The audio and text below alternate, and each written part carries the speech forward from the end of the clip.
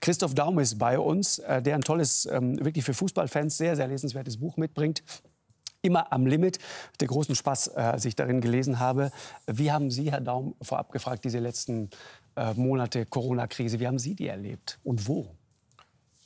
Ja, da gibt es einmal den privaten Christoph Daum, der die Zeit genutzt hat, um diese Biografie zu beenden. Und dann gibt es natürlich den, der auch äh, im äh, Fußball verwurzelt ist und mitbekommen hat, wie eben auch in dieser äh, Shutdown-Situation äh, die DFL versucht, erfolgreich mhm. versucht hat, ein Hygienekonzept zu erstellen, was eigentlich muss ich sagen, wieder ein Artikel Made in Germany ist. Denn wir hatten in allen Ländern eigentlich keine Sportveranstaltung mehr. Und was der Herr Seifert dort mit diesem Hygienekonzept in äh, Absprache mit den entsprechenden Gesundheitsämtern auf die Beine gestellt hat, das hat dann wieder dazu geführt, dass zumindest ähm, es zu diesen Spielen ohne Zuschauer, zu den sogenannten Geisterspielen gekommen ist. Und es hat dazu geführt, dass wir eben auch da ähm, was ich manchmal in die Diskussion mit reinwerfen würde, ähm, diese ganze Situation nicht nur eben aus äh, der Sicht des Virus äh, äh, angehen sollten, sondern auch äh, aus psychologischen, wirtschaftlichen Aspekten. Äh, Gibt es eine ganze Reihe. Wichtig ist, dass wir uns immer wieder unserer Verantwortung bewusst sind. Wichtig ist auch, dass wir solidarisch in äh, unserer Gesellschaft äh, mit dieser Herausforderung umgehen, aber auch immer wieder äh, mit Augenmaß. Und ich glaube, wir vom Fußball haben genau. es vorgemacht, wie es gehen kann. Okay, ist natürlich genau. draußen, nicht in geschlossenen Räumen, ähm, aber äh, ist ein Produkt made in äh, Germany, was dann von den Engländern übernommen worden ist. Spanien und so, die Amerikaner haben geschaut, wie macht ihr es eigentlich? Mhm. Habe ich mich sehr darüber gefreut. Also, wenn wir da hinten dieses Foto sehen, Herr Daum, jetzt reden wir über Fußball. Äh, Rainer Kallmund, das ist ja sozusagen eine der ganz zentralen Figuren auch, wenn man sich ihre ganze äh, Fußballkarriere anschaut. Was geht Ihnen durch den Kopf, wenn Sie dieses Foto sehen? Was geht Ihnen durch den Kopf, wenn Sie, oh, wie heute Abend zum Beispiel, vom Fernseher sitzen, da spielt die Nationalmannschaft? Ist da manchmal dieser Gedanke, da hätte ich auch mal sitzen können als Trainer, das wäre eigentlich mein Ding gewesen, das war der Job, der, der anstand als nächster? Ja, ich werde natürlich immer wieder, wie durch solche Fragen daran erinnert, dass es hätte so sein Und durch solche Bücher, die Sie schreiben. Ja, oder dadurch. Richtig.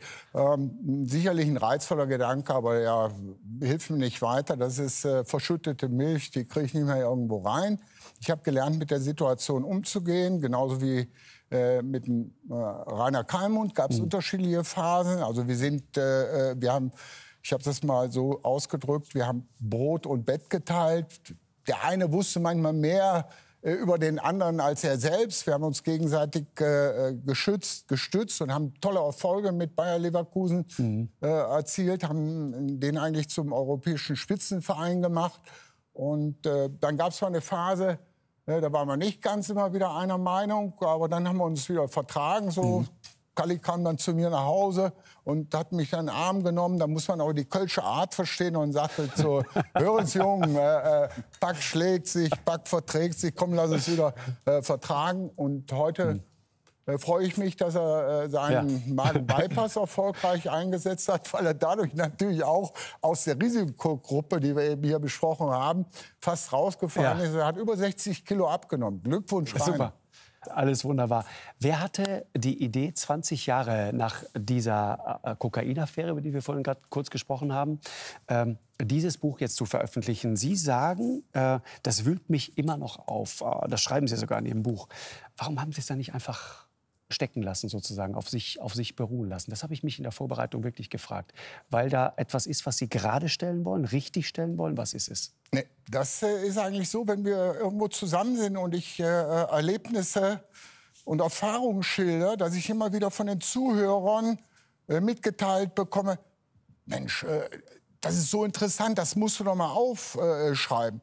Ich bin manchmal sogar mit engen Freunden zusammen oder auch in der Familie und erzähle dann wieder etwas, was ich wirklich erlebt habe. Also hier ist es nicht irgendwo ein fiktiver Roman, äh, sondern hier ist es live, was sich manche gar nicht vorstellen können.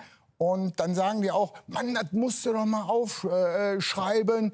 Und als dann meine Kinder gesagt haben, also größte Geschenk wäre, wenn du uns das mal aufschreibst, dann habe ich gesagt, okay, äh, jetzt machst du es. Es ist ja immer wieder so eine mhm. Situation, dass du sagst, mhm. das mache ich später. Nur ich habe in meinem Leben kennengelernt, später wird es meist ja. nie. Also aber mach's, ich weiß, also aber, klar war, aber klar war, Sie müssen sich auch mit dieser äh, unangenehmen Geschichte auseinandersetzen. Das heißt, ich, ich habe das auch irgendwo im Interview gelesen, Sie sagten, eigentlich wollte ich das gar nicht, ich wollte eigentlich ein Buch machen, wo 20 Seiten einfach geschwärzt sind. Super, gut informiert. Ja, einfach, einfach geschwärzt und das ist sozusagen ja, dieses ganze wär, Kapitel. Wäre wär der Knaller gewesen, wäre doch so, so, so, wie man so schön sagt, ein typischer Daumen. Hätte aber dann aber keiner gekauft. Bitte? Hätte dann keiner gekauft. Nein, Eine Biografie das, äh, funktioniert ja nur, wenn man gnadenlos ehrlich ist. Nur dann geht das. Ne? Nee, war ja auch so, dass wir einige Worte freilassen, einige wieder schwärzen. Aber dann haben wir gesagt, aus Umweltgesichtspunkten, man, das Papierverschwendung, lassen wir sein. Und dann habe ich eben auch, ja. Äh, ja, so ehrlich wie es geht, versucht, ja. äh, diese äh, Situation zu beschreiben. Wie rutscht man eigentlich mal äh, in so eine Situation mhm. rein, äh, genau. dass du wirklich eine extreme emotionale Belastung hast, wo du äh, dann eben auch äh, zu, eine unbedachte Handlung machst. Mhm. Und das habe ich mit möglichst vielen in der psychologischen Fachsprache Submodalitäten beschrieben, sodass so, dass ich den Leser damit reinnehme. Sie sagen, äh, das sieht so aus, als, als wäre ich jemand gewesen, der da äh, sehr früh schon ein Thema, ein Problem hatte. Aber in Wahrheit war es eigentlich gar nicht so. Haben Sie eine Erklärung dafür, wie Sie da äh, sozusagen reingerutscht sind und wie sie dann auch diese, von nur einen kurzen Ausschnitt haben wir gezeigt, aus dieser legendären Pressekonferenz damals. Meine, da setzt sich jemand, der ja wissen muss, dass er gelegentlich, wie Sie schreiben, äh, Kokain konsumiert, das, der setzt sich dahin und sagt, ich habe ein absolut reines Gewissen. Ich habe eine Haarprobe mir nehmen lassen, bin mir ganz, ganz sicher, dass da nichts passiert wir hören einmal kurz rein und vielleicht holen uns sozusagen diese Bilder noch mal vor Augen und dann erzählen Sie vielleicht mal die Geschichte dahinter. Die würde mich wirklich interessieren, bitte. Ich werde den Nachweis meiner Unschuld erbringen. Zahlreiche Freunde und Kollegen haben mir zwar von diesem Schritt abgeraten, weil es nicht nur die Umkehr unseres Rechtsprinzips bedeutet, sondern auch eine Abkehr von den guten Sitten unserer Gesellschaft. Ich bin mir der Problematik meines Schrittes bewusst, aber meine Verantwortung gegenüber meiner Familie, meinen Kindern, meinen Arbeitgeber Bayer 04 Leverkusen, meinem zukünftigen Arbeitgeber, dem DFB, lässt mir keine andere Wahl. Ich muss dieses Mittel anwenden, um meinen guten Ruf zu bewahren. Mir wurde am heutigen Montag um 8.30 Uhr in Anwesenheit von DFB-Arzt Dr. Josef Schmidt und eines Notars eine Haarprobe entnommen. Ich tue das, weil ich ein absolut reines Gewissen habe. Ich tue das, weil ich ein absolut reines ja, Gewissen habe. Weil ich vorher ähm, anonym eine Haarprobe habe durchführen lassen und äh, die äh, Ergebnisse waren alle negativ. Also es wo, gibt wo genügend Lab wo haben Sie Labore. Das machen lassen? Ja, werde ich natürlich hier nicht sagen. Wunderbar. Äh, ich habe das aber äh, anonym gemacht. Äh, es gibt genügend Labore. Fragen Sie mal die, Le die Leute, die äh, da. Ich will jetzt kein anderes Fass aufmachen, aber im Doping. Machen Sie ruhig. Im Dopingbereich unterwegs okay. sind Labore untersuchen wir, wenn die ihr Geld bekommen, äh, äh, alles. Mhm. Und äh, so hatte ich das auch sehr zuverlässig gemacht und die äh, Analyse, die ich selber gesehen habe, schwarz auf weiß, äh, äh, da war nichts nachweisbar und insofern hatte ich nichts zu befürchten. In der Presseerklärung. Waren Sie selber überrascht von diesem Ergebnis? Total. Sie, und die, und, ja, die, Sie wussten Analyse, ja, dass Sie gelegentlich Kokain nehmen. Ja, die, diese Analyse, die nachher rauskam, die traf auf mich gar nicht zu. Und die ist ja, aber die erste, die erste meine ich jetzt, die erste, die Null, die bei Null war, die hat Sie überrascht. Nee, nee, überhaupt nicht. Äh, weil ich hatte eigentlich über sechs Monate äh, überhaupt keinen Kontakt mehr damit und von der Einwachszeit, okay. von, von den ganzen. Aber das ist Pi mal Daumen. Da bin ich äh, nicht irgendwo äh, Chemiker, der es genau äh, ja. erklären kann. Aber ich ging davon aus, das sollte eigentlich äh, äh, äh, Nullerwert sein und darum hatte ich nichts zu befürchten. Und auch wenn es die Umkehr der Rechtsstaatlichkeit bedeutete, war das für mich natürlich nach diesen ganzen Gerüchten, die immer wieder kamen, der Befreiungsschlag. Und den habe ich natürlich dann dankend angenommen. Die Ausdrucksweise mit dem absolut reinen Gewissen stimmte natürlich nicht. Ich hatte kein absolut reines Gewissen. Aber da hast du Medienexperten um dich herum, die sagen, ey, hör mal zu, das, was du hier schreibst, ich hatte geschrieben äh, bei dieser Presseerklärung, äh, äh Drogen haben und werden in meinem Leben keine Rolle spielen. Dann haben die gesagt, ah, ist viel zu weich gespült, da muss man richtig nach vorne gehen. Und ich wusste nicht, dass so eine ähnliche Sache äh, der Uwe Barsche mal gesagt okay. hat. Wirklich nicht. Und dann habe ich gedacht, ich habe nichts zu befürchten. So what? Äh, dann saß er halt, weil er ein absolut reines Gewissen hast. Ich ging ja davon aus, dass äh, äh Nullerwert rauskommt. Äh, Sie, Sie sollten, es ging um die Frage, ob Sie Nationaltrainer werden. Und der Slogan der Nationalmannschaft war unter anderem keine Macht in Drogen schwierig. Nee, da stehe ich ja auch zu. Ich habe natürlich auch Verständnis dafür, äh, äh, dass in der äh, Situation, in der ich mich befand, es keine Möglichkeit mehr gegeben hätte, Nationaltrainer zu werden, eben unter dieser Prämisse mit äh, diesem Slogan. Das sehe ich mhm. auch ganz klar ein. Da brauchen wir auch gar nicht drüber zu sprechen. Ich habe mich beim DFB bei allen Verantwortlichen entschuldigt und ich habe heute, muss ich sagen, da auch wieder äh, ein sehr gutes Verhältnis, aber äh, zur damaligen Zeit No-Go. Mhm. Trotzdem nur diese Situation. Ich meine, welcher Druck war das? Also Sie, Sie Uli Hoeneß hatte ja vorher aus München ja. schon. Gehen wir lieber auf den anderen Teil Ihrer Frage ein. Den fand ich eigentlich viel spannender und interessanter. Nämlich, nämlich wie kommt man da wieder raus? Das finde ich eigentlich. Ja, äh aber das, das ist wichtig, äh, absolut. Ge vergesse ich auch nicht. Nur trotzdem, wie sich das aufgebaut hat. Wie haben Sie das wahrgenommen? Da, Uli Hoeneß, Sie sagten ja vorhin selber, gab da immer wieder schon die Gerüchte und so weiter. Und dann fängt er plötzlich an, so aus München Gerüchte zu streuen und sagt, ja gut, nee, nee, nee, nee, der hat keine Gerüchte gestreut. Das wurde nahe so dargestellt. Der Sondern einfach, wie war es wirklich? Der, der, der, äh, Uli, wirklich, dann muss ich den Uli in Schutz nehmen. Okay. Also, und wenn ich das schon mache, dann sollte er äh, das wirklich äh, auch entsprechend äh, äh, wahrheitsgemäß hier aufgenommen werden. Der Uli hat nur gesagt, Mensch, wenn diese ganzen Gerüchte, und ich habe ich hab vorhin gesagt, es gab einige Gerüchte, wenn die genau. stimmen, genau dann kann er nicht äh, Bundestrainer werden. Und damit liegt er eigentlich richtig. Und, äh, nee, das verstehe ich. Aber, aber es ist ein, das heißt, Sie sind ihm dankbar dafür, dass er das. Es ist ja die Frage, ob man das öffentlich macht oder ob man das intern macht. Das ist auch nochmal eine andere Geschichte. Ist richtig. Äh, äh wir können jetzt Szenarien durchspielen, äh, wie man äh, äh, diese Affäre sagen wir, auf einem ganz anderen Niveau hätte abhandeln können. Ja mit derselben Konsequenz. Also nicht, dass es äh, jetzt so aussieht, man hätte das irgendwo verheimlichen oder vertuschen können. Nein. Aber äh, wie gesagt, äh, ich bin Uli Hoeneß nicht dankbar. Nein, aber jetzt den zu dem äh, äh, Hauptschuldigen äh, zu machen, das stimmt gar nicht. Es wurde damit okay. auf einmal medial ein Druck aufgebaut. So, jetzt muss der aber eine Haarprobe machen. Mhm. War ja auch nicht meine Idee. Und, Wessen Idee war das? Wessen Idee war das?